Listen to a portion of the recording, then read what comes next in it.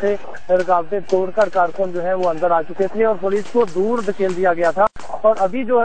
सूरत हाल है वो यही है कि कारकुन जो है वो बसों पर और दीगर गाड़ियों